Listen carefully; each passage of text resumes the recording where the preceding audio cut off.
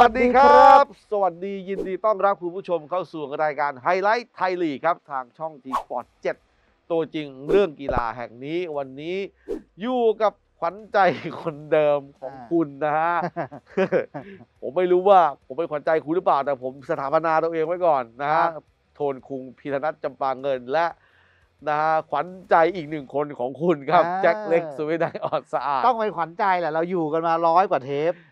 เจอกันใช่ทุกวันกันมาเนี่ยโอ้สาเจมอสี่เดือนอะ เจอกันมาร้อยกว่าเทปไม่รักกันให้มันรู้ไปดิเออเอามันต้องรักกันบ้างแหละคนเราเหมือนแต่ก่อนก็บอกคนแต่งงานคุมถุงชนอยู่ๆก็ไปก็รักกันไปเองอะอืมเออ แต่ทำไมคุณเนี่ยพักหลังคนเริ่มไม่ค่อยรักคุณไม่ไม่กูคนคนรักเยอะ จริงๆคนรักเยอะ คนที่นะแอดเข้ามาเพิ่มอันไปเฟซไปสองคนคนแอดก็เป็นร้อยคือเราก็สนใจคนร้อยมากกว่าอ่าอ่าอ่าเออนะฮะ จริงๆเลยเชียวอะวันนี้เนี่ยเกมที่เราจะย้อนไปดูกันของฤดูกาลที่แล้ว เป็นการเจอกันระหว่างโปลิศเทโร FC กับนครราชสีมามาสด้า FC ครับ เป็นนัดที่ 29 ของฤดูกาลที่แล้ว แข่งกัน 21 มีนาคม 2564อืมพูดถึงโปลิสเทโลของโค้ชอ้นรังสรรค์วิวัฒน์ชัยโชคก็ถือว่าเป็นทีมที่ เอาตัวรอดได้อย่างเหลือเชื่อ และเก่งกาจในฤดูกาลที่ผ่านมาแม้ว่างบประมาณจะไม่เยอะอืมเคยตกชั้นไปก็โค้ชโอ้นรังสรรค์นี่แหละเป็นคนเอาขึ้นมาทั้งๆที่ไอปีที่ตกชั้นบีจีก็ตกอ่าแล้วมันมีทีมใหญ่ทีมที่เคยอยู่ในไทยลีกหนึ่งตั้งหลายทีมรวมถึงทีมไทยลีกสองที่มีน้ำเลี้ยงดีๆกว่าเทโลเยอะแยะครับพี่อ้นแกก็ยังอุตส่าห์เอาเทโลเลื่อนชั้นขึ้นมาก็พร้อมฉุดบีขึ้นจีมาจจนนได้ได้อืมแล้วอยู่รอดด้วยแถมปั้นนักเตะดัง ๆ ขึ้นมาจนมีอนาคตสดใสลุ่งโพธิ์ทองกันไปหลายคโอ้นยเหรอไม่ว่าจะเป็นมิกกี้ปฐมพลเจริญรัตนาพิรมอยู่เมืองทองไม่ได้เล่น วิกกี้นี่มีเพลงไหม อย่าให้เขารับรู้ ว่าฉันเคยเป็นใคร เออ เพราะเขาอาจเออวาดวันไม่ไว้ใจในที่สุพอดแล้วพอแล้วพอแล้วอันนี้นิดเดียวหน่อยพอมิเลกยกี้ปฐมพลจากไม่ได้เล่นกับเมืองทองอ่า โค้ชอ้นเอามาปั้นอยู่เทโล อืม ย้ายไปบีจีครับ ติดทีมชาติไทยอืม นะ โชว์แปงปลาแปงทิตาวีทิตาทรอักษรศรีครับนะฮะเป็นสองพี่น้องคลายคล้องในคลอง ในกล้องมีแต่ถูกโอ้นี่คุณได้ได้ทุกแบบทุกได้ทุกอันเลยเหรอเนี่ยโยนเข้าเพลงได้หมดเลยเหรอเออแล้วคุณพูดมาเดี๋ยวเจนพบรออยู่นะเอาเพลงอะไรนึกไว้เอก่อนอเจนพบโพขี เจนค่ะ เจนเฮ้ค่ะยเฮ้ยคุณได้เหรอเออโอ้คุณได้ เจนครับเฮ้ยเจคุณเป็นนเล่นครับเลย ผมชื่อเจนพบมาโอ้โหเฮ้ยคุณนี่ความสามารถคุณมันล้นเหลือเอเองนะอผมชื่อเจนพบโอ้ อยู่กับอ้นเราไปอยู่กับแปงแล้วเออ โอ้โหเออ เฮ้ยอย่าตัดนะนี่นะ ขอร้องเลย อยากให้มาดามแป้งดูเทปนี้เผื่อจะได้กำเผื่อได้ตบรางวัล เออ เนี่ยต้องปั้นปั้นสุดยอดสุดยอดปั้นสุดยอดปั้นจนอันนี้คือผลงานพี่อ้นผลงานผมนะผลงานเพลงของผมเจนค่ายมาเลยหัวไวมากอันนี้โอ้ชอบนะอันนี่ผมชอบนะคืออยู่กับคุณต้องหัวไวแหละครับนะเพราะว่ามันชอบโยนอยู่กับเป็นวีบาดันหรือเปล่าก็ไม่รู้ แล้วไปอีเวนต์เนี่ยมันก็โยนโยนเอะผมรู้ว่าไหนคุณได้ไม่ได้ครับผมก็รู้ไงแต่ล็อกนี่คุณแปลกใจเพราะมันไม่ใช่ล็อกล็อกซ้อมเราใช่อันนี้ผมแถมไปให้เจนเนี่ยมันเป็นแต่ผมเตือนไปก่อนว่าเฮ้ยคนสุดท้ายที่เขารออยู่ผมผมเหลือบให้เวลาตมองคุณคิดสักห้าวิสิบผวิมก็คิดขึ้นมาเลย นี่คือถือว่าเป็นนักปั้นมือทอง เจนค่าเนี่ยเหรอไม่ใช่สิโค้ดอ้นครับอ้นครับอ๋ออ้นครับเออโค้ดอ้นเนี่ยถือว่าเป็นนักปั้นมือทอง หลายคนอยากให้โค้ดอ้นไปทำทีมใหญ่อืมเขาบอกว่าโอ้โค้ดอ้นที่อบรมโปรไลเส้นเนี่ยนะเป็นระดับต้นๆคะแนนเป็นอันดับต้นๆของรุ่นอืมนะฮะแต่ว่าโค้ดอ้นเขาชอบที่จะคุมเทโล เพราะเขาผูกพัน แต่จริงๆอะคือแกพร้อมทุกอย่างนะอ่าทั้งบารมีอืมชื่อเสียงหรืออะประสบการณ์อะไรต่างๆนานาเนี่ย มีแหล่งข่าววงในบอกว่าทีมใหญ่เคยจีบแต่แกไม่ไป ทีมไหน ทีมไหนอืมบีอย่าไปบอกเลย เพราะว่าเดี๋ยวแหล่งข่าวเราจะได้รับ ความผลกระทบเดือดร้อนผลกระทบอ๋อเพราะว่าแหล่งข่าวเราก็เรียกว่าเกาะดูดเขาอยู่ แต่ยังไม่ได้อ๋อเหรอยังไม่ได้อ่าอ่าเยอะอะโอ้โหคทั้นงเข้าหาเยอะไงทั้งผัวทั้งเมียเลยเข้าคู่กับเข้าคู่เลยนะอ่ามัมันเอาเมียนำก่อนอ่าแล้วตัวเองเข้าก็ปุ๊บตามเข้าไปตามไปมีรายการขึ้นแน่นอนแล้วรู้ทรงคือแล้วขายสปอนเซอร์เองอ๋ด้อวยเหรอเดี๋ยวเราไปดูครับเกมครึ่งแรกของคู่นี้กันนะในช่วงหน้าแต่ว่าช่วงนี้เราพักกันสักครู่ครับ ไฮไลท์ไทยลีก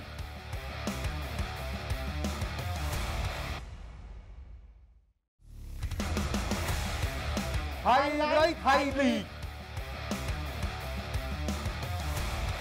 เกมในวันนี้ที่เราจะไปชมกันเป็นการเจอกันระหว่างโปลิสเทโล FC กับนครราชสีมามาสด้า FC แหมเมื่อกี้พูดแต่ถึงโค้ชอ้น อืม เดี๋ยวแฟนคลับโค้ชโจจะน้อยใจโค้ชโจนี่ก็อ่า โค้ชไทยฝีมือดี ครับเป็นนักเตะรุ่นราวคราวเดียวกันกับโค้ชอ้นด้วย อืมนี่ก็ไม่ธรรมดา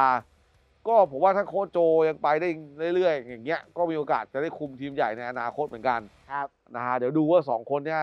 ในอนาคตจะเป็นแบบไหนยังไงแต่ผมเชื่อว่าสองคนนี้จะไปได้ดีทั้งคู่ อืม เกมในวันนั้นโปลิศเทโรเล่นในบ้านก็ไม่ได้อยากจะแพ้แน่นอนนะ ครับ ก็นำทัพมาโดยไอแซคฮอนนี่กัปตันทีมหมายเลข 14 ขวัญใจคุณ ธีรเทพวิโนทัย น้องรัก น้องรักแล้วก็ดราแกนบอสโควิชคู่หูอืมของเขา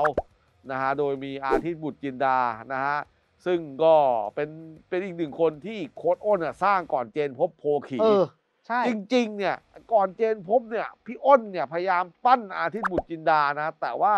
กลายเป็นว่าตอนหลังอะเจนพบโพขีมาไม่แล้วเราก็ชมามแรงบ่อยแซด้งวยนะทางโค้งเราออชมบ่อยด้วยนะ อาทิตย์บุญจินดาเลยว่าเฮ้ยทุกอย่างพร้อมที่จะเป็นซูเปอร์สตาร์ได้นะ ปีนี้นะให้จับตามองอะถ้า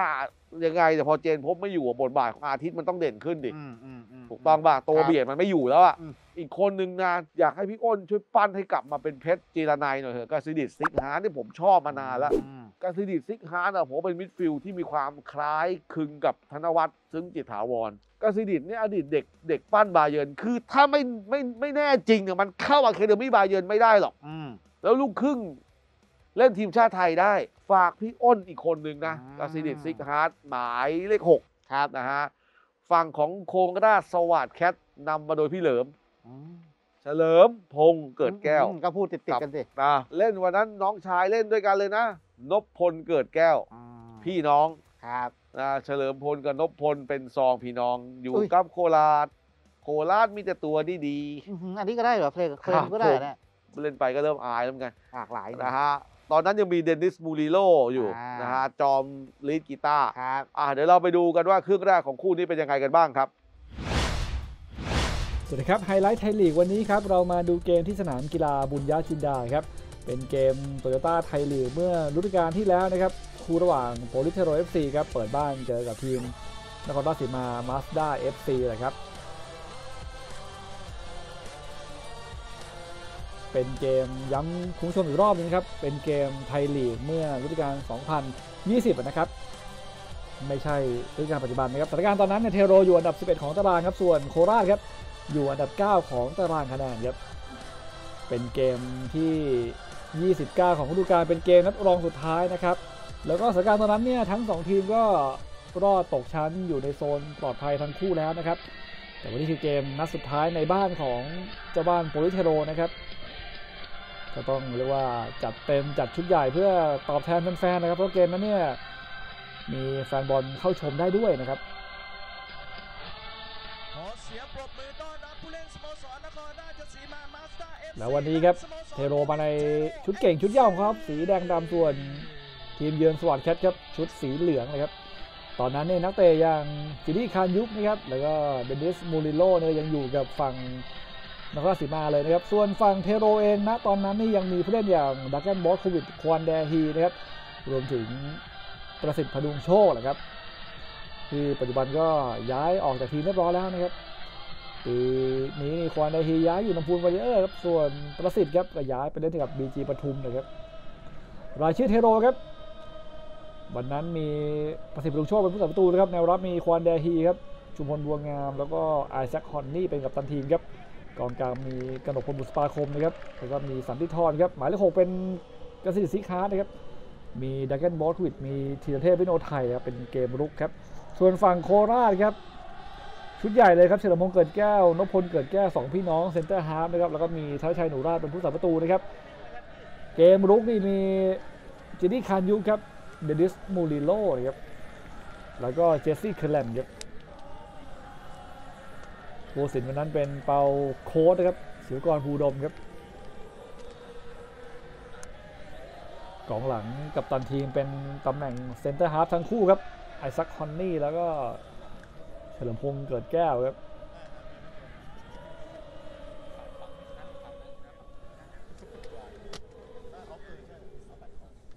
นี่ผู้ตัดสินระดับดีกรีฟีฟ่านะครับ เป่าโค้ดก็ไปเป่าในทัวร์นาเมนต์นานาชาติในทวีปเอเชียหลายต่อหลายครั้งแล้วแหละครับ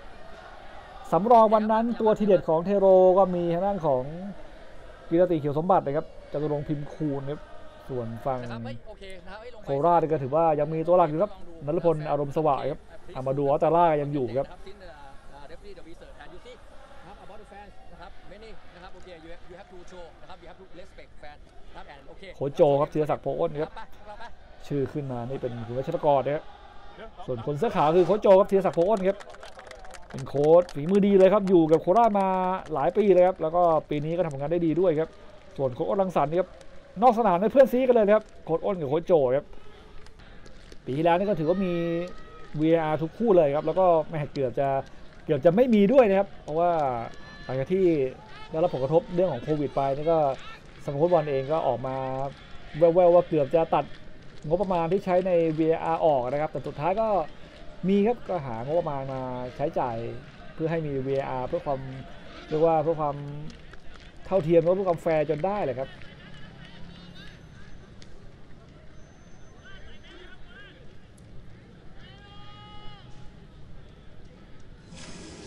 เกมกำลังจะเริ่มนะครับ ที่สนามกีฬาบุณยะจินดา เป็นเกมนัดที่ 29 ของฤดูกาลนะครับ นัดรองสุดท้ายครับ แต่ว่าเป็นนัดสุดท้ายในบ้านของโปลิศเทโรเลยครับ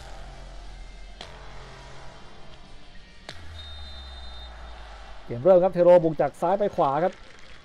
มาในชุดแดงดำส่วนโคราชครับชุดสีเหลืองกับชุดเยือนครับบอลทางซ้ายที่กสิทธิ์ซิกฮาร์ดซิกฮาร์ดเข้าซ้ายดึงจังหวะอยู่ซิกฮาร์ดจะแหวกไปเองไม่ผ่านเอกนัทครับซิกฮาร์ดปั๊มเอกนัทเอกนัทถึงก่อน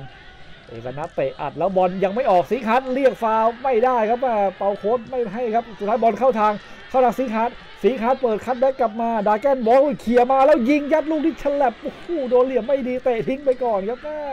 แถวสองเก็บได้ แล้วกระหนกพลยิงยัดลูกที่ชนเสาครับโอ้โหซ้ำอีกทีไม่เข้ากรอบครับโอ้โหนาทีที่แปดครับเทโรเกือบขึ้นนำครับจังหวะยิงไกลของกระหนกพลนะครับแล้วต้องเป็นกระดกพลหรือสันติธรนครับจังหวะยิงโอ้โหแล้วยิงยัดลูกสวยมากครับ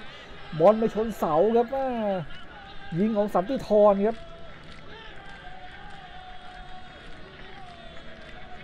เป็นกระหนกพลนะครับเนี่ยครับหมายเลข48 ครับ ยิง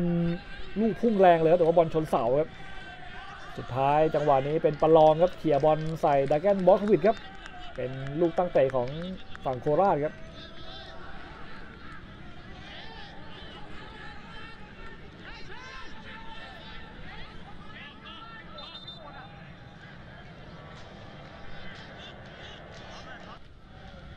บอลของเทโรครับควอนแดฮีไหลต่อมาจังหวะนี้ตั้งกันใหม่ครับ อาทิตย์กลับมาที่ควอนแดฮีควอนแดฮียัดมาเลยข้างหน้าไม่ถึงธีรเทพครับแย่งกันโหม่งอยู่สุดท้ายบอลโดนมือกระหนกพลครับโดนจับแฮนด์บอลไปครับ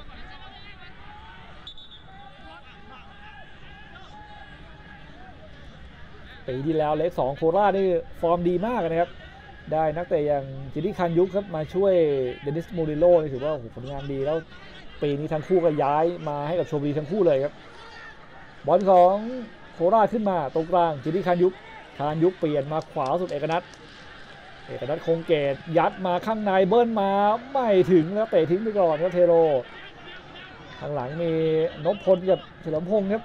คู่พี่น้องนะครับประลองเปิดมามูริโล มูริโลย้อนกลับมาได้เล็งเล็งแล้วอูลูกนี้โดนจับล้ำหน้าไปก่อนครับเดนิสมูริโลปีที่แล้วนี่ฟอร์มแรงมากครับ เป็นรองดาวซัลโวของไทยลีกด้วยครับ แล้วก็เป็นปีที่เขายิงเยอะสุดด้วยครับเดนิสมูริโลครับกองหน้าจอมโซโลกีตาร์ครับท่าดีใจของแกครับ เปิดมาลูกนี้เตะทิ้งไปก่อนครับ ไม่ถึงเจสซี่คาร์แรนบอลของซิกฮาร์ดครับมาที่สันติธรกลับมาที่ซิกฮาร์ดตั้งกันใหม่ครับข้างหลังเลยควอนเดฮีเปลี่ยนแกนมาขวาบ้างครับ ชุมพลดูบอลของโคราชครับลุยขึ้นมา เจสซี่คาร์แรนสายต่อมากิดี้คานยุคคานยุคเปิดด้วยซ้ายลูกนี้โอ้โหเปิดแรงครับออกหลังไปเองเลยครับ เปิดยัดขึ้นมาของกิดี้คานยุคเลยครับดูบอลของโคราชขึ้นมาใหม่เจสซี่คลันไหลต่อมาแถว2เก็บได้ยิงยัดเลยครับโอ้โหพัชชานนท์ครับตั้งกันใหม่ที่เฉลิมพงศ์เปลี่ยนมาทางซ้ายบ้างประลองประลองดีต่อมาแล้วโดนเตะล้มมาผู้สินไม่ว่าอะไรแต่ว่าตัดสินใจเป่าให้ฟรีคิกแล้วครับโอ้โหประลองสาวันดีครับ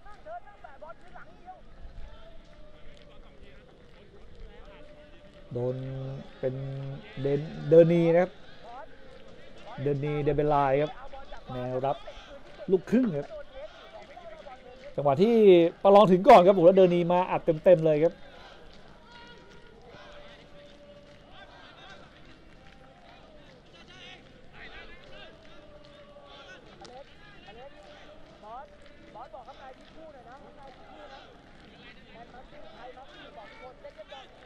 ดู ฟรีคิกของฝั่ง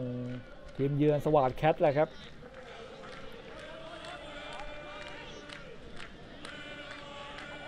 บรรดาแขก VIP ของสโมสรนะครับเดี๋ยวมาชมเกมด้วยครับเป็นเกมนัดสุดท้ายในบ้านนะครับ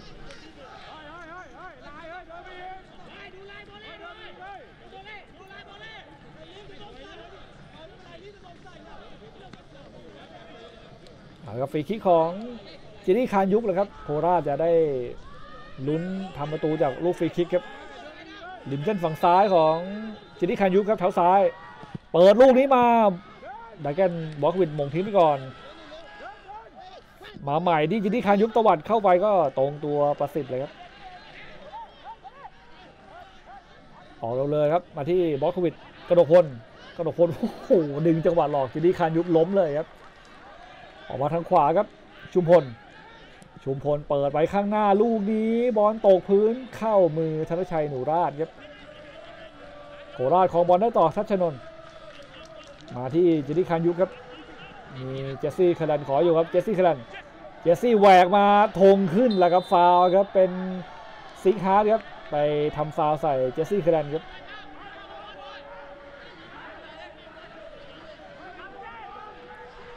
จังหวะรับบอลนะครับแล้วดูว่าจะกระชากเข้ากลางครับ สิงหาได้ไปดักไว้เลยครับ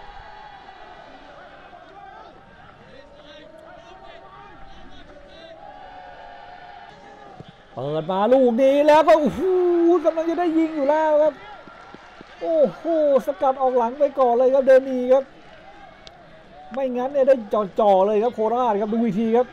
เปิดมาลูกนี้แล้วกำลังจะใส่อยู่แล้วเอกนัทครับ โอ้โห เดินนี้อยู่ตรงนั้นพอดีครับกระโดดสกัดออกหลังไปก่อนครับ โอ้สวัสดแคทเกือบจะขึ้นนำเลยครับ เป็นเตะมุมของฝั่งสวัสดแคทครับ ทีมเยือนบุกต่อครับจิติคานยุกเปิดด้วยซ้ายมาลูกนี้มงทิ้งมาก่อน แถว 2 เป็นของโคราชครับบุกกันต่อจิติคานยุกคานยุกเล็งเล็งแล้วยังไม่เปิดจะแหวกมาไม่ผ่านทีละเทพครับ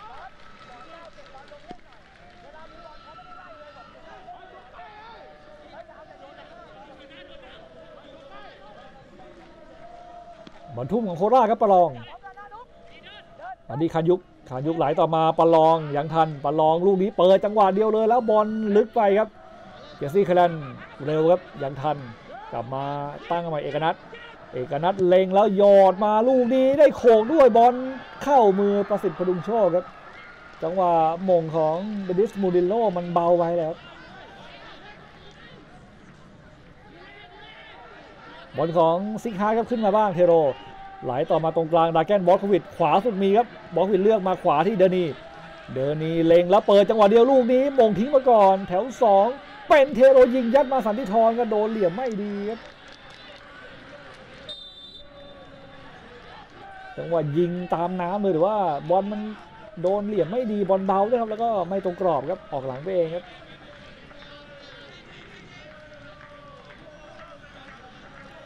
ผ่านมา 25 นาทีครับ โอกาสยิงก็บอกว่ามีไม่เยอะครับมีพอๆกันทั้งคู่ครับ ดูบอลของเทโรบ้างทีละเทพทีละเทพเปิดด้วยซ้ายลูกนี้มาแล้วบอลหูหม่งไม่โดนฮอนนี่ แล้วโดนจับฟาด้วยครับฮอนนี่ไปทำฟาใส่นพพลครับอู้จังหวะลอยขึ้นมาหม่งเนี่ยเหมือนฮอนนี่บอกว่าก็ต่างคนต่างขึ้นครับแต่ว่าผู้สินมองว่าไปกดใส่นพพลครับจังหวะเปิดด้วยซ้ายของรีซอร์ครับดูครับฮอนนี่ครับ ขึ้นตรงนั้นเลยครับ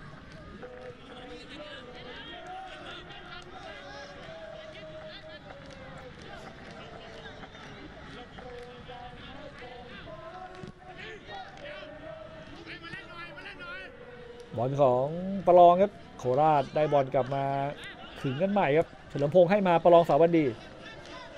ประลองเปิดยาวข้างหน้าเลยครับ แล้วเอาบอลลงได้จังหวะนี้ แล้วโดนกระแทกผู้สินบอกว่าบอล ออกข้างครับบอลทุ่มของโคราชครับโคราชบุกต่อครับ เอกนัทคงเกตตวัดขึ้นมาข้างหน้าเก็บบอลได้ด้วยเข้าซ้ายแล้วจังหวะนี้ไม่ล้ำหน้า หาช่องอยู่ แล้วเลือกยอดโด่งๆมาลูกนี้มงข้ามคานครับเจนี่คานยุกโอ้โหถือว่าขึ้นมาเอาแต่ว่าโดนจับสุดท้ายโดนจับล้ำหน้าครับเป็นดีเลย์แฟกครับผู้สินปล่อยให้เล่นไปก่อนแล้วเขายกธงนะครับ คราชก็มีจังหวะได้ลุ้นเหมือนกันเลยครับ ดูบอลของเทโรบ้างธีรเทพธีรเทพยิงไกลลูกนี้เลยธนชัยปัดทิ้งแล้วตัวซ้ำไม่มีครับเอกนัทเก็บได้ เอกนัทตวัดทิ้งมาก่อนครับโอ้จังหวะยิงไกลของรีซอธีรเทพครับ เป็นธนชัยหนูราที่ยังบินปัดออกไปก่อนครับระยะบันยี่ห้าหลาบอลลูกนี้ก็ไม่มีใครกดดันด้วยนะครับ แต่ว่าเลือกที่จะปัดทิ้งดีกว่าเอาชัวร์ครับธนชัย บอลของซิกฮาร์ดเปิดโด่งๆลูกนี้เข้ามือธนชัยหนูราชครับเทโรมาใหม่ครับกนกพล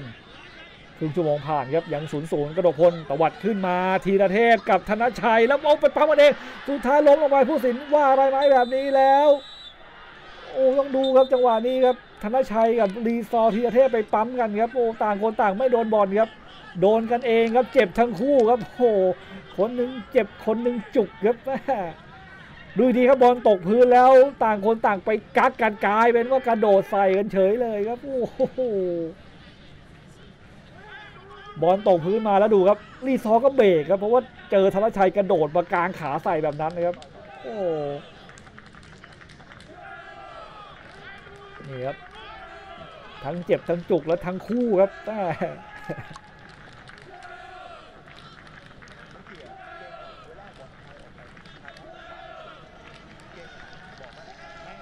ยังศูนย์ศูนย์อยู่ครับโคโจก็ติวทัชนนท์อยู่ครับ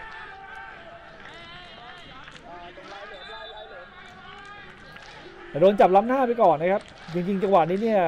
ถ้าไม่ล้ำนี่อาจจะต้องเช็ค VR ว่าจุดโทษหรือเปล่าด้วยครับ แต่ว่ารีซอล้ำหน้าไปก่อนครับ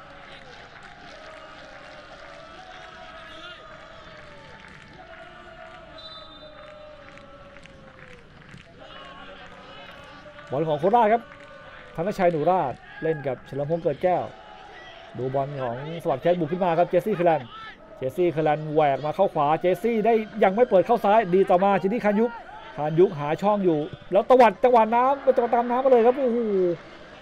ก็จะเปิดยัดมาแต่ว่าบอลมันลึกเข้าทางประสิทธิ์พดุงโชคครับคานยุคก็แหมเหมือนจะโวยๆเพื่อนว่าเพื่อนไม่หาช่องให้เลยครับบอลของกิดี้คานยุคครับ คานยุคไหลทะลุช่องมา มูริโลตวัดตวัดด้วยซ้ายบอลข้ามคานออกไปครับหาโอกาสหาเหลี่ยมยิงไม่ค่อยเยอะครับเกมนี้ครับเดนิสมูริโลดูที่ครับ ไหลมาแล้วใส่ด้วยซ้ายเลยครับบอลโดนเหลี่ยมไม่ดีครับโดนใต้ลูกไปหน่อยครับแล้วก็ข้ามคานออกไปครับดูบอลของเทโรบ้างเดนนี เดินนีเข้าขวาหลอกสวยมาก เดินนีเล็งแล้วมาเอง เดินนีมาเองแล้วเปิดยัดมาลูกนี้ไม่มีใครครับโอ้โหเป็นเอกนัทโคงเกตเลยครับ สกัดออกหลังไปก่อนครับโอ้โหแลบลิ้นเลยครับโล่งอกครับโอ้โหถือว่าเดินนีมาสวยแล้วครับแล้วเปิดยัดมาเนี่ยถ้าใครจิ้มบอลมีโอกาสเข้าประตูเลยครับแต่ว่าไม่มีไม่มีใครชาร์จเลยครับดูดีครับ เปิดมาแล้วเป็นเอกนัทคนเดียวที่ใช้ขาขวาครับ แตะบอลออกหลังไปครับเตะมุมของเทโรครับ ดาแกนบล็อกวิดเปิดมาเสาสองฮอนนี่มงโอ้โหมงเหลี่ยมไม่ดีครับข้ามคานออกไปก็ตั้งใจเปิดมาเสาสองให้ฮอนนี่เลยครับแต่ว่าจังหวะนี้ฮอนนี่ก็มงแรงครับบอลมันมาแรงด้วยแหละครับ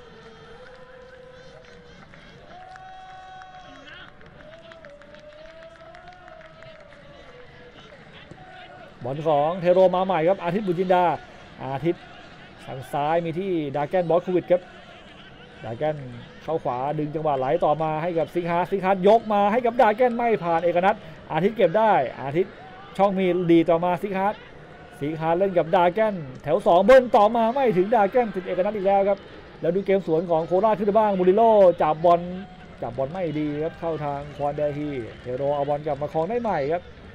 สันติธรมาทางขวาที่ชุมพลขวาสุดเลยครับเดนนี เดินนีลุยมาเอง เดินนีหาช่องอยู่แหวกมา เดินนีดีต่อมาลูกนี้กระดกพลครับเล่นกับชุมพลบัวงาม สันติธรสันติธรมาที่กระดกพลครับกระดกพลยัดมาตรงกลางเบิ้ลมาดาแกนปั่นโค้งโคลูกนี้โอ้โหsuper save เลยครับโอ้ธนชัยหนูราชครับบินปัดอยู่หมัดเลยครับโอ้ลูกนี้ครับ ปัดบอลแล้วรับเล่นต่อได้เลยครับธนชัยครับโอ้ถือว่าจังหวะเข้าทำของเทโรสวยแล้วครับ ยัดมาแต่จังหวะเดียวแล้วดาแกนได้ปั่นแล้วแต่ว่าบอลมันไม่ได้หนีมือธนชัยเท่าไหร่ครับนี่ครับปั่นโค้งมาธนชัยก็บินปัดกระฉอกนิดนึงก็ไม่มีปัญหาครับยังตะครุบเล่นต่อได้แล้วเทโรมาใหม่ครับช่วงท้ายครึ่งแรกครับรีซอร์ธีรเทพอยู่ขึ้นมาขวาสุดมีธีรเทพขวามีเดอร์นีไหลต่อมาเดอร์นีเปิดย้อนกลับมาไม่มีใครครับตรงนั้นโอ้โหเตะทิ้งมาก่อนโคราช แถวสองกนกพลอีกรอบหนึ่งดีต่อมาลูกนี้ดาแกนบอสโควิชจับได้ บอสโควิช แต่เข้าซ้ายแล้วล็อกเข้าขวาหาช่องอยู่ ยังไม่มีใครยกมาลูกนี้โหม่งทิ้งไปก่อนครับประลองแถวสองสันติธรหนุนเข้าไปใหม่ก็โหม่งได้เฉลิมพงศ์แล้วโหม่งอีกทีเฉลิมพงศ์เกิดแก้วผู้สินให้เล่นต่อแล้วจังหวะนี้คอนทีเสียบอลมาที่เจสซี่คลนอ่านครับบอลสวนของโคราชขึ้นมาเจสซี่คลน เจสซี่ข้างในมีคานยุกกับบูริโลเจสซี่เปิดลูกนี้มาม่งทิ้งมาก่อนชุมพลครับโอ้โหเกมมาเปิดแรกกันในช่วงท้ายครึ่งแรกครับสันติธรลุยขึ้นมา ให้มากับธีรเทพธีรเทพดึงจังหวะรอเพื่อนแล้วยัดมาตรงกลางครับมาที่ซิกฮาร์ดการสิริซิกฮาร์ดครับเล่นกับไดเกนบอสโควิดบอสโควิด รอซิกฮาร์ดอ้อมหลังมาเข้าซ้ายซิกฮาร์ดเล็งเล็งยังไม่เปิด สับหลอกมาลูกนี้โดนเอกนัทเตะแล้วผู้สิน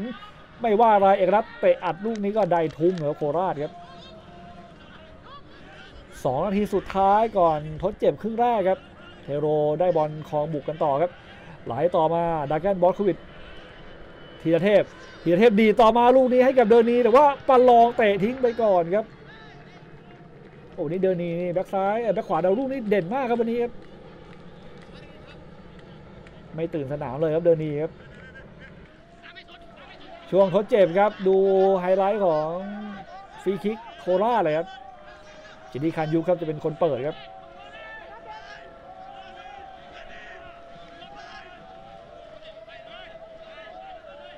เฉลิมพงศ์เกิดแก้วก็ขึ้นมาลุ้นด้วยแหละครับ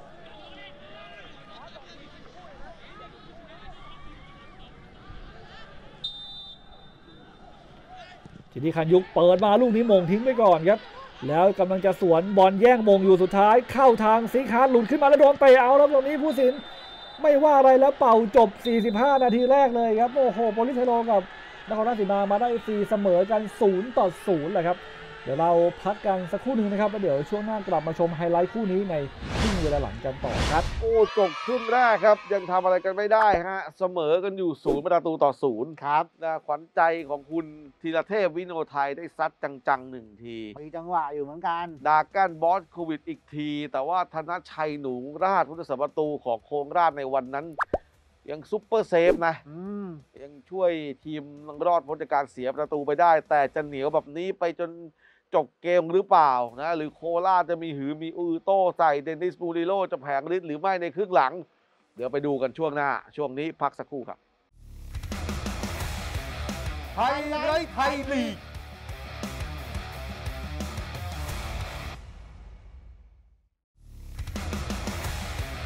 ไฮไลท์ไทยลีก กลับมาติดตามรายการไฮไลท์ไทยลีกกันต่อครับ เดี๋ยวเราไปดูเกมครึ่งหลังฮะระหว่างโปลิศ เทโร FC เจอกับนครราชสีมามาสด้า FC เกมนัดสุดท้ายของฤดูกาลที่แล้ว ครับผมคนดูตอนนั้นให้เข้าได้ อืมก็เลยเข้าไปกันหนาตาหน่อยเออ คนเยอะใช้ได้เลยนะนะถ้ามาดูฝั่งตรงข้ามก็เยอะอาจารย์ฝั่งตรงข้ามก็มีอ่าทีมงานโปรดิวเซอร์เราไปรับจ็อบเป็นแอดมิน เฮ้ยแต่จริงๆเนี่ยเพจถือว่าเทโลเป็นอีกหนึ่งทีมที่ก็น่าผมผมน่าหมายถึงผมนะคุณน่าเชียร์เพราะไม่ได้ไกล น่าเชียร์เหมือนนนะเพราะว่าไม่ไกลไง สนามบุญญาจินดาแล้วที่จอดรถก็ง่าย เป็นสอ่า เป็นสนามที่มีที่จอดรถชัดเจนอะครับ เพราะว่าตรงสโมสรตำรวจเขาจัดงานบ่อยงานแต่งงานเพราะผมไปงาไปลี้ยงเล่นที่สนามนี้บ่อยด้วยนะ เออคุณก็ไปเล่นบ่อย ไปเล่นแล้วก็สนามนี้เตะบ่อยกับแฟนของแฟนคลับของเทโลบ่อย ครับ นะฮะหน้าไปเยือนอืม นะฮะอะก็เดี๋ยวเราไปดูเกมครึ่งหลังนะครับ ว่าคู่นี้สกอร์จบลงอย่างไรครับ เรามาชมไฮไลท์ไทยลีกในครึ่งหลังกันต่อครับ เรายังอยู่ที่เกมโตโยต้าไทยลีกเมื่อฤดูกาลที่แล้วนะครับ เป็นนัดที่ 29 ของฤดูกาลครับ นัดรองสุดท้ายนะครับโปลิศ เทโรเปิดบ้านเจอกับนครราชสีมามาสด้าเอฟซีครับครึ่งแรกเสมอกัน0-0ครับมาดูครึ่งหลังว่าสุดท้ายแล้วจะมีสกอร์หรือไม่ในเกมนี้นะครับครึ่งหลังนี่โคราชส่งหมายเลข81คนนี้ครับเอามาดูออตตาร่าลงสนามมาครับก็มาเพิ่มมิติเกมรุกเกมริมเส้นของโคราชที่อันตรายอยู่แล้วนะครับบอลของโคราชนพพลมงขึ้นมา แล้วเก็บบอลไม่ได้ครับทัชนนท์ ให้มาที่ดักแกนบอสโควิดบอสโควิดไหลมาไม่ผ่านนพพลครับยังสกัดออกข้างไปก่อนครับเฮโรบุกต่อครับซิงฮาร์ดไหลมาลูกนี้ให้มาธีรเทพดีแล้วเข้าไปเลยครับเอาเลยครับหนึ่งประตูต่อศูนย์จากรีซอร์ธีรเทพวินโดไทยแล้วก็เฮแล้วครับโอ้ท่าดีใจ signature ครับเสยผมครับหนึ่งศูนย์ของธีรเทพวิโนทัยครับ ได้ประตูที่ต้องการแล้วครับเจ้าบ้านขึ้นนำแล้วครับจากลีซอครับ ดีดลูกนี้สวยมากครับข้ามหัวธนชัยหนูราชไปเลยครับลีซอครับโอ้โหถือว่ายิงสวยดูครับ สีคาร์ดจ่ายมาลีซอหลุดมาแล้วจิ้มลูกนี้ข้ามหัวเข้าไปเลยครับอู้แล้วไม่มีธงล้ำหน้าด้วยนะครับ วิ่งตัดหน้าเฉลิมพงษ์เกิดแก้วมาครับสีคาร์ดแอสซิสมาให้ครับแล้วดูครับดีดลูกนี้สวยมากครับ เราดูท่าดีใจ signature ของแกครับแม่เข้าไปแล้วครับผู้ตัดสินอาจจะต้องเช็ค VAR ก่อนนะครับ เพราะว่าจังหวะวิ่งสอดเข้าไปเนี่ยมีโอกาสสุ่มเสี่ยงจะล้ำเหมือนกันนะครับนี่ครับยังไม่ให้เริ่มเล่นครับ ขอเช็คสัญญาณจากห้อง VAR ก่อนนะครับ เป่าโค้ดครับ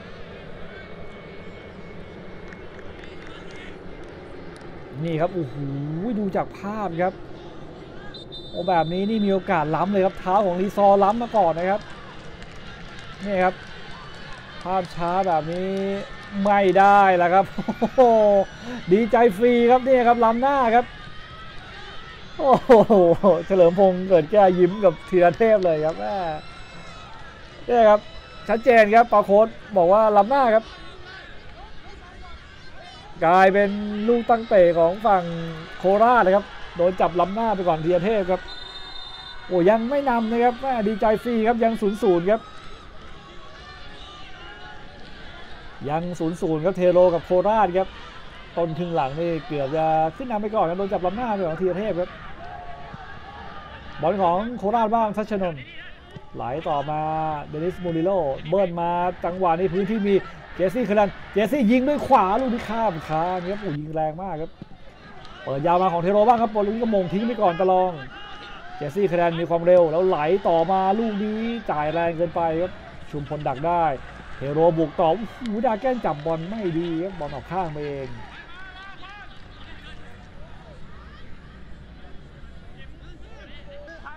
เตะมุมของโคราชครับกิดีคานยุกครับจะเป็นคนเปิดครับเอกนัทก็ขึ้นมาลุ้นด้วยเลยครับ ทีนี้เปิดมาลูกนี้โหม่งทิ้งไปก่อนแถว 2 อามาดูอัตตาราเข้าซ้าย เข้าซ้ายแล้วล็อกเข้าขวาไหลต่อมาเจสซี่เคอร์แรนเจสซี่เคอร์แรนแตะเข้าซ้ายบ้างแล้วหยอดลูกนี้เหลี่ยมไม่ดีครับติดชุมพลตวัดกลับมาให้กับดราแกนบอสโควิช ด ราแกนมีความเร็วเจอกับเดนิสมูริโลมูริโลเร็วกว่า ดราแกนต้องดึงจังหวะรอเพื่อนแล้วดีดลูกนี้ยังได้ทุ่มครับ บอลของเทโรบ้างธีรเทพ เอาไปเสียบอลให้เจนี่คานยุกไม่ฟาวด้วย คานยุกโดนเสียบเลยแบบนี้ฟาวครับแล้วเหลืองเลยครับกนกพลครับ เอาแล้วแล้วคานยุกไม่พอใจชุมพลมันไปเตะบอลอัดครับผู้สินต้องมาห้ามครับ ชุมพลก็เนี่ยครับไม่ได้ตั้งใจครับ ไม่ได้ยินเสียงน้องวีดครับขอโทษจะเตะบอลทิ้งเฉยครับแต่ว่ากระดกพลโดนใบเหลืองไปนะครับ จังหวะเสียบใส่จินนี่คานยุกครับคานยุกก็ไม่ได้โกรธกระโดดพลนะครับ ไปโกรธชุมพลครับแม่จังหวะเบียดบอลแย่งมาจากธีรเทพแล้วโดนกระโดดพลเสียบครับแต่จังหวะเสียบไม่โกรธครับโกรธจังหวะโดนเตะบอลเนี่ยเตะบอลอัดแขนครับโอ้โหเป็นชุมพลครับจังหวะเตะบอลทิ้งแล้วไปเฉี่ยวแขนจินนี่คานยุกครับฝีขี้ของโคราชครับจินนี่คานยุกหยอดมา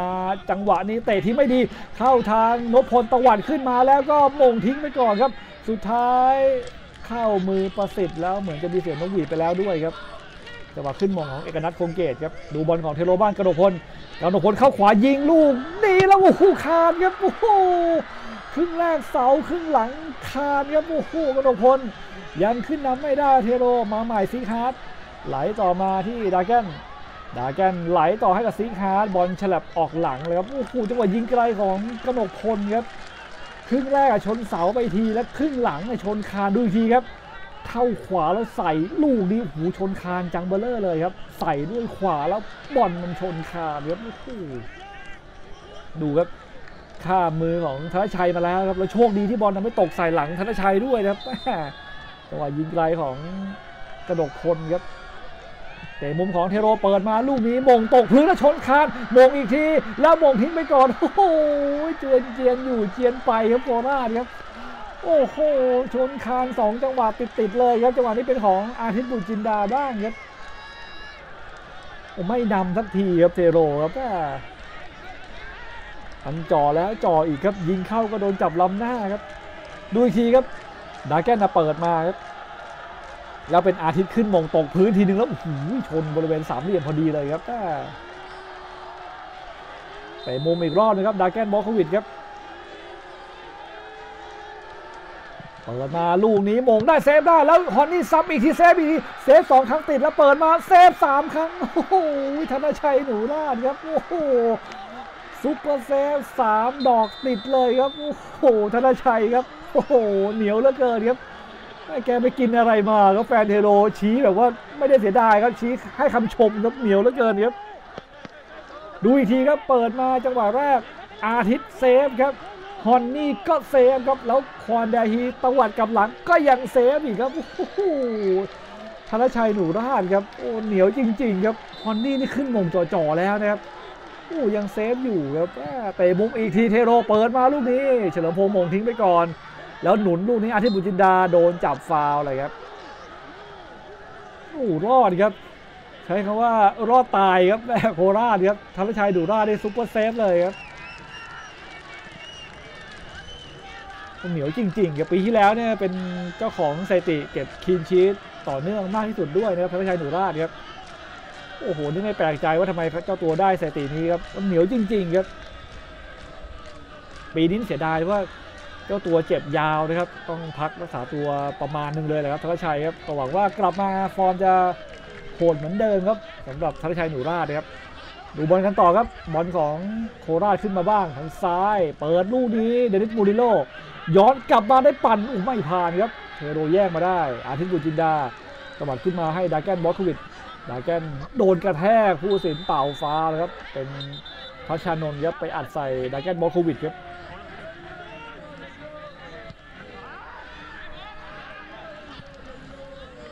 ดูครับจังหวะเก็บบอลได้แล้วพัชนนไปใช้ท่อนแขนกระแทกใส่เลยครับ บอลของเทโรธีรเทพธีรเทพเจอกับนพพลธีรเทพสับหลอกอยู่เข้าซ้าย ดีต่อมาลูกนี้ไม่ผ่านเอามาดูครับลงมาช่วยเกมรับได้มาดูเอามาดูพัวพันหนีอยู่กลับมาที่นพพลเกิดแก้วเข้าทางสันติธรครับเทโรบุกกันต่อครับพรไดฮีให้มาสันติธรแย่มาลูกนี้บอลเข้าทางดาแกนบอสวิด ดาแกนขวาสุดมีให้กนกพลกนกพลเข้าขวาจะลองยิงอีกลูกนี้ติดบล็อกครับได้ใจครับยิงไกลดีวันนี้ขอลองหน่อยแล้วดูแต่อ้อมมาของเจสซี่เคอร์แรนมีความเร็วครับ เจสซี่ลุยขึ้นมาเจสซี่มองข้างในแล้วเปิดมาให้กับกิดีคานยุกตะวัดตามน้ำเลยแต่ว่าบอลโดนเหลี่ยมไม่ดีครับบอลออกหลังไปเองครับไปเร่งจังหวะยิงไปนิดนึงเลยครับจินี่คันยุกครับกลายเป็นเสียของไปเลยครับ ดูครับ เปิดมาแล้วตวัดด้วยซ้ายบอลมันโดนเหลี่ยมไม่ดีครับมาดูฟรีคิกของเทโรบ้างครับดาแกนบอสโควิดครับจะเปิดเข้าไปดาแกนหยอดไปเสาสองลูกนี้บอลโอ้โหผ่านหน้าประตูไปหมดเลยครับ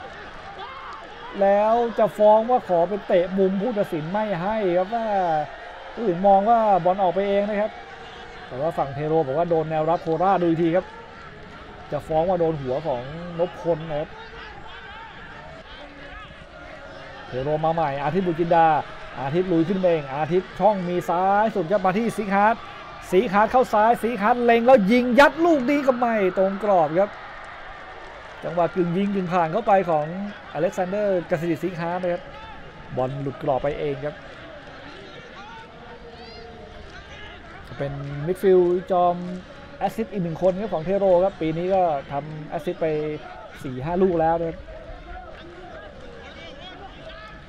บอลของโคราชบ้างประลองสาวันดีตวัดขึ้นมาให้กับเจสซี่เคอร์แรนเจสซี่หลุดขึ้นมาเจสซี่ cut back กลับมาเดนิสมูริโลยิงลูกนี้ติดแล้วเคลียร์บนเส้นซ้ำโอ้โหอามาดูอัตตาราซ้ำจอจอกเตะไปเข้าทางประสิทธิ์ผดุงโชคเฉยเลยครับตรงนั้นครับโอ้โหเกือบจะขึ้นนำเหมือนกันครับสวาทแคทแต่ยังไม่ได้ครับเทโรมาใหม่ดราแกนบอสโควิชแหวกมาเองลูกนี้แล้วเหลืองสิครับ โอ้ใบเหลืองเลยครับ เป็นเดนนิสครับโดนเหลืองไปครับดูอีกทีครับจะเอาแหวกมาแล้วเดนนิสดักไว้เลยครับสร้างเอฟซีของเป็นตัวผู้เล่นเดิมผู้เล่นหมายเลข9ทัชนนท์นัทราวงศ์ออกและส่งผู้เล่นหมายเลข17นฤพลอารมณ์สวัสดิ์ลงโคราชเปลี่ยนตัวครับส่งนฤพลอารมณ์สวัสดิ์ลงสนามมาแทนทัชชนนท์นะครับเทโรก็เปลี่ยนครับยศศักดิ์ชวนะครับ ลงมาแทนเดอร์นีเดเบลลาครับเป็น มิดฟิลด์ความเร็วสูงครับยศศักดิ์ชวนะครับ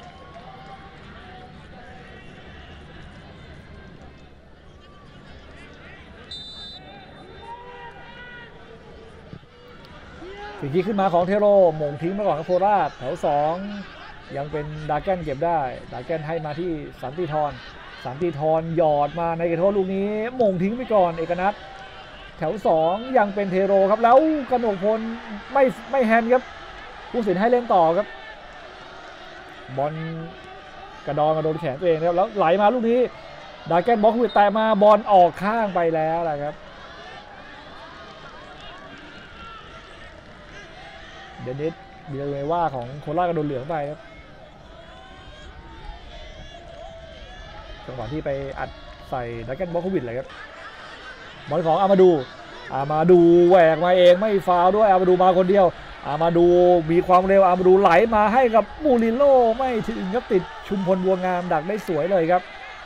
แล้วดูบอลสวนขึ้นมาของเทโรบ้างรีซอร์ธีรเทพธีรเทพมาคนเดียวธีรเทพซ้ายมีธีรเทพไหลมาอาทิตย์บุญจินดา อาทิตย์เข้าซ้าย อาทิตย์รอเพื่อนอยู่ไหลต่อมาตรงกลางดาแกนดาแกนหาช่องไหลมาที่ธีรเทพเข้าขวายังไม่ยิง ดึงจังหวะเข้าซ้ายเข้าซ้ายก็ไม่ยิงให้มาดาแกนดาแกนลุยคนเดียวดาแกนไหลมาธีรเทพลูกนี้โอ้โห ลอดขาสวยแล้วแต่ว่าแนวรับอย่างนพพลยังอยู่ตรงนั้นครับสกัดไปก่อนครับ โอ้นี้ถือว่าเล่นดีเลยครับนพพลเกิดแก้วครับ น้องชายของเฉลิมพงษ์เกิดแก้วเลยครับดูทีครับดาแกนน่ะรอดขาเอกนัทมาแล้ว แต่ว่านพพลครับมาพอดีแล้วเตะทิ้งไปก่อนครับแต่ดูจังหวะที่เอามาดูผิวหนีซิค้าไปก่อนครับ มีความเร็วสูงครับอามาดูอัตาล่าครับ แต่ว่าไหลต่อไปเนี่ยจะไม่ถึงบูริโลชุมพลยังดักทางได้ดีครับเตะมุมของเทโรครับดาแกนเปิดโด่งๆมาลูกนี้ขึ้นมงตัดหน้าธนชัยได้ว่าผู้สินเป่าฟาวครับ เป็นธนชัยอะโดนอาทิตย์บุญจินดาครับแล้วดูครับโอ้โหแหม่ก้มไปดูอาการกันครับจังหวะกระแทกกันครับของอาทิตย์บุญจินดากับธนชัยหนูราชครับเปิดมาแล้วอาทิตย์เนี่ยขึ้นก่อนได้แต่ว่าเนี่ยครับ จังหวะธนชัยอะปัดได้นะครับ แต่ว่าโดนกระแทกครับ อาทิตย์ขึ้นไม่ถึงบอลครับธนชัยถึงก่อนว่า จังหวะปัดบอลแล้วโดนอาทิตย์กระแทกครับ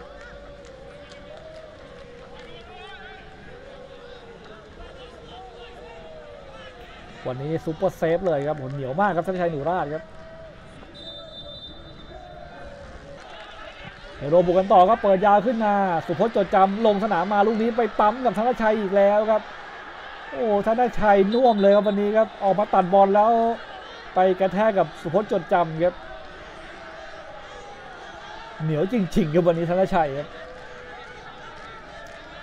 ลุกมาไหวครับเล่นต่อได้ครับจังหวะที่เปิดยาวขึ้นมาแล้วธนชัยถึงบอลก่อนนะครับถึงบอลก่อนสุพจน์ครับแล้วก็จังหวะปัดเนี่ยเป็นสุพจน์ที่ตามไปแล้วกระแทกนิดนึงครับแต่ก็ไม่มีอะไรครับลุกมาเล่นต่อไหวทั้งคู่เลยครับ เทโรมาใหม่ครับ สุพจน์จดจำเปิดยัดขึ้นมาแต่ทิ้งไปก่อน แถว2ดาแกนตวัดขึ้นมารีซอตวัดอีกทีโอ้โหข้ามคานครับอ่าจังหวะตะวันของรีซอร์ธีรเทพเป็นโอไทยครับบอลไปตกใต้คานเฉยเลยครับโอ้โหดูอีกทีครับดาแกนน่ะตวัดขึ้นมาบอลเข้าทางธีเทพแล้วตวัดอีกทีดูครับอื้อข้ามคานไปนิดเดียวครับ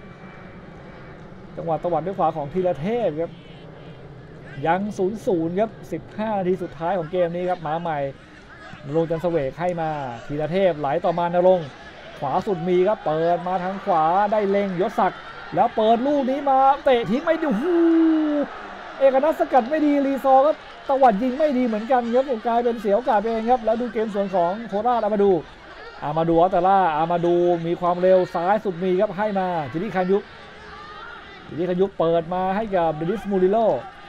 เดนิสมูริโลเข้าซ้ายแล้วหาช่องอยู่ยิง ลูกนี้ตรงตัวประสิทธิ์ผดุงโชคครับหาโอกาสยิงได้ดีครับแต่ว่าบอลไปตรงตัวครับเทโรมาใหม่ครับทางซ้ายซิกฮาร์ดซิกฮาร์ดเปิดเลยลูกนี้โด่งๆมาแล้วก็บอลโหม่งทิ้งไปก่อนครับประลองสาวันดีเทโรยังได้เตะมุมครับวันนี้เกมรับโคราชต้องบอกว่านอกจากประตูแล้วเนี่ยก็โดดเด่นทุกคนเลยครับ 4เซนเตอร์แบ็กของโคราชครับเตะมุมของเทโรเปิดมาลูกนี้โหม่งทิ้งไปก่อนครับนพพลตั้งกันใหม่อีกทีถึงก่อนด้วยแล้วดูเกมสวนกลับขึ้นมาของฝั่งโคราช เรียกเพื่อนให้ไปทางขวาแล้วเปิดยาวเลยครับเป้าอยู่ที่เดนิสมูริโลกับเจสซี่เคอร์แรนแล้วถึงก่อนด้วยเจสซี่เคอร์แรนจังหวะนี้พื้นที่มีข้างในมูริโลเปิดมาโอ้โหแรงเกินไป แล้วจีนี่ขายุเปิดกับมาอีกทีก็ไม่ผ่านติดไอแซคฮันนี่ครับโอ้โห เปิดหน้าแรกกันมันครับช่วงท้ายครับมาใหม่ครับเทโรดราแกนบอสโควิชบอสโควิชลุยขึ้นเอง เข้าขวาเข้าขวาแล้วตอกส้นไม้ไม่ต่อครับไหลต่อมารีซอไปหยุดเล่นซะแล้วครับโอ้โหสิบนาทีสุดท้ายของเกมครับยังศูนย์ศูนย์แต่ว่าเป็นศูนย์ศูนย์ที่สุดมันเลยครับ แล้วจีดีคานยุกกับไอแซคฮันนี่มีอะไรครับ มายืนฟังผู้ตัดสินครับ เหมือนจะเช็ค VAR จังหวะเป็นใบแดงหรือเปล่าครับ ควอนแดฮีกับเจดี้คายุกควอนแดฮีไปย่ำใส่เจดี้คายุกนะครับ ไปเปิดปุ่มใส่บริเวณข้อเท้าของเจดี้คายุกครับเนี่ยครับ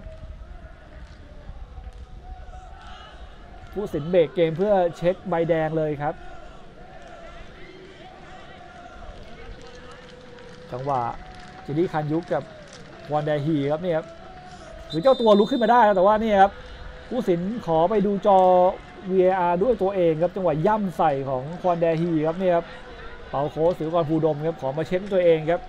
ดูจากภาพช้าเนี่ยสุ่มเสี่ยงที่โดนใบแดงมากเลยนะครับเปิดปุ่มเต็มๆเลยครับนี่ครับเปาโค้ดมาดูจอด้วยตัวเองครับ เป็นผู้สินที่ฝีมือดีอยู่แล้วนะครับ ได้รับการไว้ใจจากเรียกว่านักเตะทุกคนอยู่แล้วครับปาโคนครับ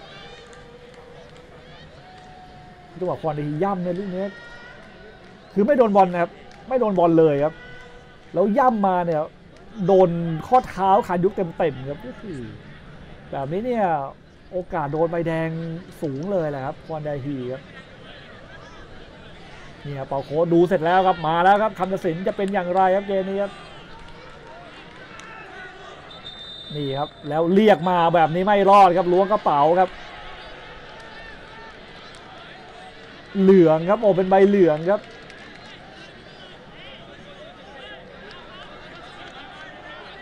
เป็นใบเหลืองของควอนแดฮีครับเจดี้คันยุกไม่พอใจครับเดินไป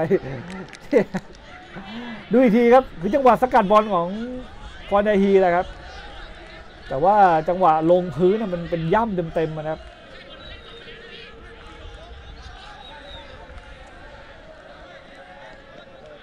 โดนใบเหลืองแล้วควอนแดฮีครับช่วงท้ายครับเทโรบุกใหม่สุพจน์จดจำไหลต่อมาให้สัญชัย สัญชัยเข้าขวา ดึงจังหวะก่อนสัญชัย เปิดลูกนี้โด่งๆมาธนชัยปัดทิ้งมาก่อนแล้ว ตามมาเตะทิ้งไปได้ครับโอ้โหนันทพลครับ ยังสกัดออกข้ามก่อนแล้วธนชัยวันนี้ครับอ้น่วมครับ จุกจุกทั้งเกมครับแต่ก็ยังไหวครับช่วงท้ายแล้วครับธนชัยมาใหม่ที่นัทวุฒิมูลสุวรรณ เทโรบุกต่อครับดาแกนให้มาที่นรงขวาสุดมีครับนรงรอเพื่อนก่อนนรงออกมาสั้นๆครับให้มาชุมพลชชุมพลไหลต่อมาให้กับดาแกนบล็อกวินหลุดมายศศักดิ์ชนะยศศักดิ์โดนจิ้มผู้ตัดสิน บอกว่าเล่นที่บอลแล้วเป็นเตะมุมเท่านั้นครับโอ้โหยศศักดิ์ไม่พอใจเลยครับ คิดว่าได้ได้จุดโทษครับแม่แต่ว่าเปาโค้ดบอกว่าจิ้มที่บอลครับทดเวลาบาดเจ็บ 5 นาทีครับ 5 นาที โอ้ถือว่าเสียบแม่นมากเฉลิมพงศ์ดูอีกทีครับยศศักดิ์หลุดมาแล้วเฉลิมพงศ์ครับจังหวะสไลด์แล้วนี่ครับโอ้จิ้มแม่นมากครับโดนบอลนะครับปลายเท้าเลยครับ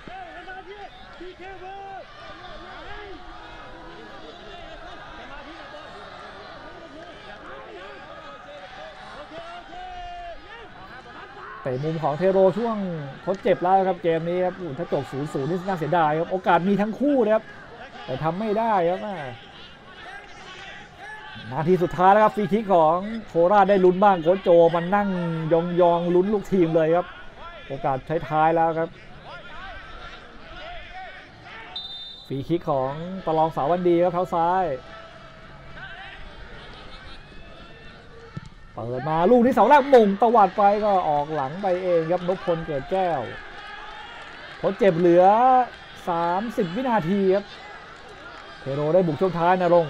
นรงค์ตวัดขึ้นมาบอลตกพื้นดาแกนดาแกนบอลโควิดเข้าขวาหาช่องแล้วจังหวะนี้หาช่องอยู่ หาช่องยังไม่มีให้ยิงยังไม่มีแล้วแต่มายิงลูกนี้ก็ติดบล็อกกระบูฮูไปมากจังหวะไปหน่อยดาแกนครับ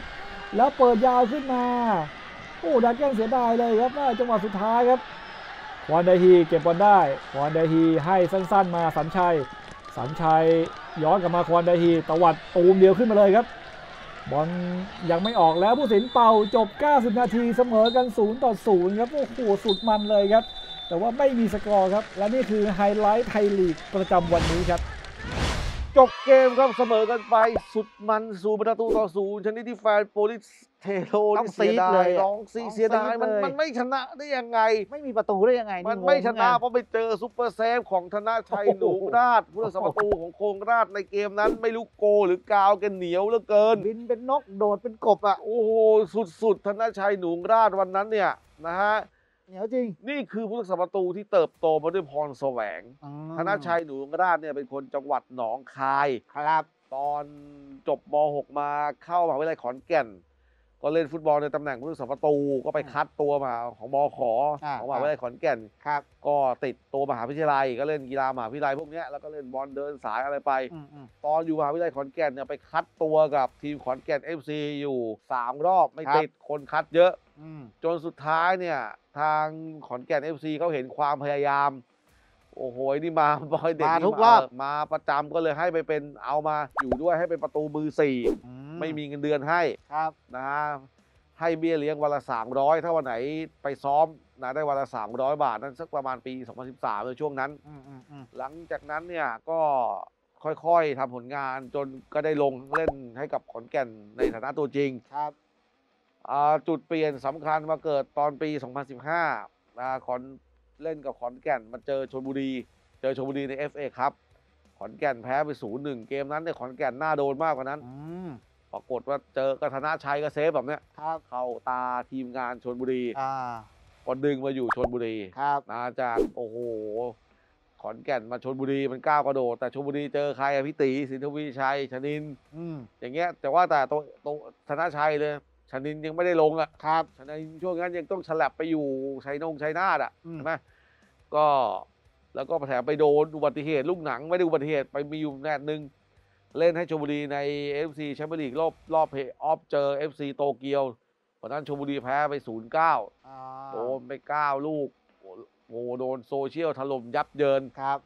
หลังจากนั้นเนี่ยก็โดนปล่อยให้หน้องบัวพิชยะยืมไปแล้วก็มีมาอยู่ระยองอืมที่ระยองเนี่ยก็มามีจุดเปลี่ยนเล่นกับระยองในปี 2019 เซฟ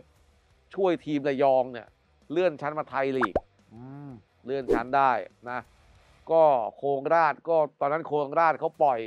เขาไม่มีไอซ์กำพลละครับแซมมวนปอคันนิงแฮมมาเลยอีกนะหาตัวแทน2คนนี้เขาก็เลยเซ็นธนชัยไปแล้วก็อย่างที่เห็นอืมแต่น่าเสียดาย ธนชัยเล่นอยู่ดีๆ ก็บาดเจ็บนัดสุดท้ายเล็กแรกพัก 8 เดือน โอ้โหเจ็บยาวเลยนะ ตอนเนี้ยกลับมาก็เสร็จพี่สารดอกไม้แก้วผู้รักษาประตูจอมเก่า ซึ่งเป็นหนึ่งในไอดอลของเขานะ ครับ เป็นหนึ่งในคนที่เจ้าตัวเคยไปดูตอนที่เอ่อขอนแก่นเจอกับเทโล อืมก็ไปดูพี่สาเล่นครับ นะตอนเนี้ยก็ ต้องใช้เวลาหน่อย ในการที่จะกลับมาตอนช่วงพีคๆกับโคราชเอ่อเมื่อฤดูกาลที่แล้วเนี่ยมีช่วงพีคหลายคนก็เชียร์ให้ติดทีมชาติ อืม แต่ว่าประตูดีๆบ้านเรามันเยอะก็ขนาดไอซ์คำพลยังไม่ติดเลยอะครับ นะครับนะปฏิวัติคำไหมเนี่ยเล่นจนอิสวานมาบุตประตูสิงคโปร์ต้องย้ายกลับบ้านอะอืมปฏิวัติติดไหมล่ะก็ไม่ครับติด เออแต่ประตูบ้านเราจริง ๆ มืออันดีๆเยเนี้ยอะนะมันน่าชื่นใจแต่เรื่องที่เล่าเนี่ยมันน่าชื่นประตูบ้านเราดีๆเยอะนะ อืม ประเภทแบบเก่งเล็กเยอะนะครับนะฮะอะก็เป็นกำลังใจให้น้องๆทุกคนนะบางคนเนี่ยอย่างที่บอกครับ ความพยายามก็บางทีคนเราเนี่ยมันไม่อย่างที่เขาบอกไม่ถึงต้องขย่งไม่เก่งต้องขยัน อย่าท้อ อย่าท้ออย่ายอมแพ้อย่าอ่อนแอแม้จะร้องไห้เนี่ยจบดูลุกชีวิตขึ้นสู้ไป ดูชีวิตคุณโทนได้ จุดหมายไม่ไกลเกินจริง คุณโทนคุงนี่ก็ชีวิตก็ไม่ใช่ ไม่ย่อท้อ คุณจะต้องตะกายดาว อืมเพราะมันคงจะมีสักวันคงเป็นวันที่ยิ่งใหญ่โอ้โหอ่านะครับ จบรายการนะอะวันนี้เวลาหมดหมดเวลานะครับเราสองคนและทีมงานลาไปก่อนพรุ่งนี้เจอกันใหม่ครับ สวัสดีครับ สวัสดีครับ